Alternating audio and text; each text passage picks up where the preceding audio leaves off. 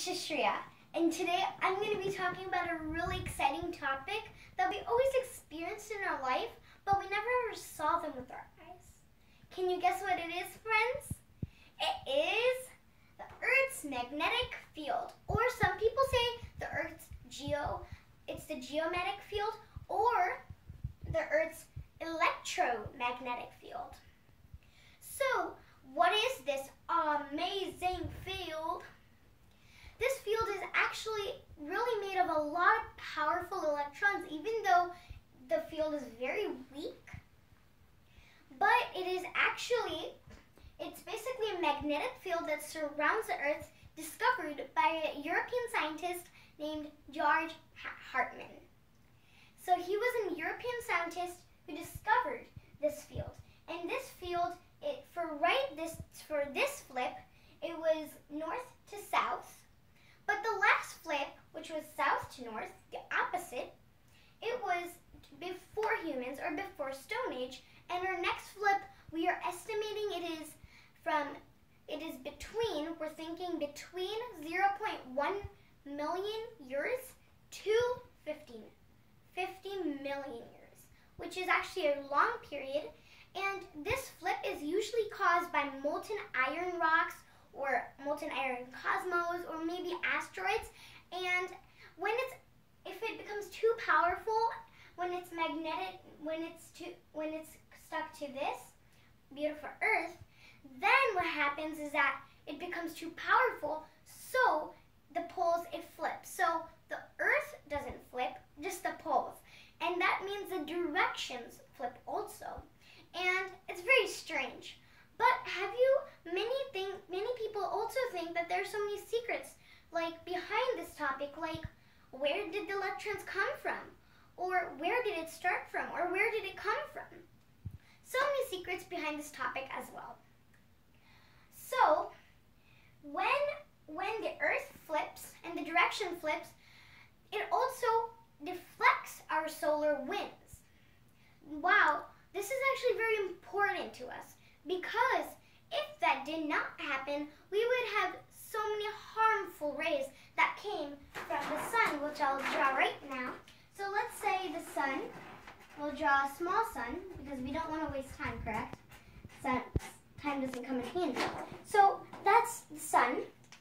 And let's say we did not have these magnetic fields and our solar winds would come and the solar winds Solar is another name for sun, as I told you in other videos before. So, and that means it's going to come direction from the sun, and when every, all those come, it's going to carry more powerful sun rays. And that's why our magnetic fields are very important. But they're not as important as even animals have to use it. Why? I mean, animals don't have to use it, correct? But they do. Birds, turtles, they don't just migrate in a handy way. They think that the Earth's magnetic field is very important to them because it, they detect on it. And when they detect on it, what if it was south to north? And they accidentally went towards the other way because they thought, oh, it did not flip.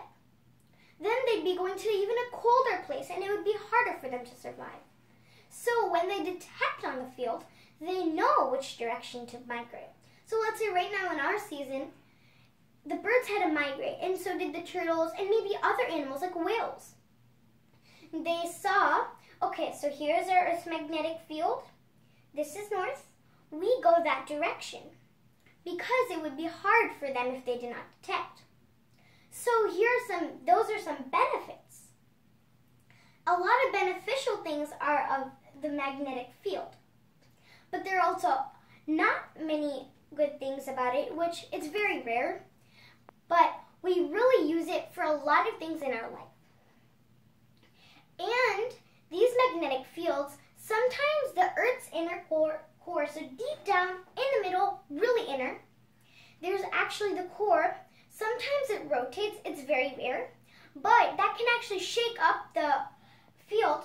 And then when that happens, that caught when it shakes, then that also can cause it to flip because that's most things that make it flip, they're like maybe I should say 100 times more powerful than when the magnetic field. So so like when I said the molten rocks, that's maybe about 10, let's say 10 times more powerful. But this is more powerful because when the Earth's inner core, that's part of Earth, and it shakes, it kind of breaks a little bit part of it. So when that has happened, when that happens, that causes it to flip. So the more powerful, it's very weak, I should say. The electrons, yes, they are powerful, but they're not as powerful, which makes the field, the Earth's magnetic field, very weak. But before it flips, I can say, there the magnetic field it grows. So I have to draw more as it grows. So as time goes, the Earth's magnetic field, it starts from very weak, but it doesn't become too powerful that it can stop from getting flipped. So here's a little bit about the Earth's magnetic field and why it's very important to us. And it's actually a good discovery that George Hartmann made because if we did not have that, how would birds detect on it? How would we stop our solar winds? Just because of an easy thing that actually helped us in our life. So, if you have any questions, put them in the comment, even though there's still many unknown, so I might even say it's still unknown. And do the same for my other videos. Please put nice comments, like, and if you love my videos and my channel, make sure you subscribe. Have a good day. See you soon. Bye, my lovely friends.